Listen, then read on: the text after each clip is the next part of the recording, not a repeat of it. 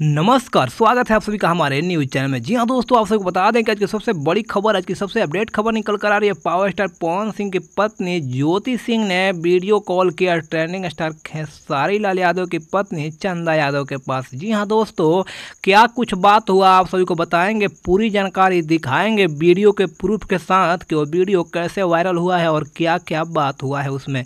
तो जी हाँ दोस्तों, बता दें कि चंदा यादव से ज्योति सिंह ने कहा है कि आपको खेस सारी लाल यादव बहुत प्यार करते हैं और बहुत अच्छे से रहते हैं। लेकिन हमारे जो पति हैं, देख लीजिए क्या क्या कर रहे हैं और मुझे बहुत दुख तकलीफ़ है। जी हाँ दोस्तों, बता दें कि औरतों का तो ये आदत ही है कि अपने घर का बड़ाई और बुराई दोनों अपने सखी सलेहर से करती रहती है। तो जी हाँ दोस्तों, बता दें कि ऐसे ही बात किया है दोनों स्टारों की औरतों ने। जी हाँ दोस्तों, बता दें कि वहीं चंदा यादव ने कहा है कि पावर स्टार पवन सिंह भी आपको नहीं छोड़ेंगे और आपको बहुत प्यार दुलार देंगे। हो सकता है कोई बात हुआ होगा जिसके चलते वो ऐसा कर रहे हैं तो आप जा करके उनसे माफ़ी मांग लीजिए। वो तो पति हैं आपके माफ़ कर देंगे और आपके साथ रखेंगे।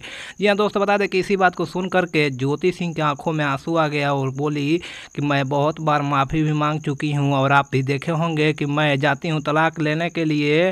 वो जब जब बोले हैं, तब तक मैं गई हूँ और सिंदूर लगा के गई हूँ उनके नामों के, तब भी वो मुझ पर नहीं ताकते हैं और नहीं मुझे देखते हैं। जी हाँ दोस्तों, बता दें कैसा कह करके ज्योति सिंह रोने लगी वीडियो कॉल के द्वारा। तो आप सभी कमेंट बॉक्स में कमेंट करके बताएँ कि आप सभी को क्या लगता है? पावर स्टार पवन सिंह जो कर रहे हैं वो सही कर रहे हैं गलत कर रहे हैं सभी कमेंट बॉक्स में कमेंट करके ज़रूर बताएँ। थैंक यू धन्यवाद।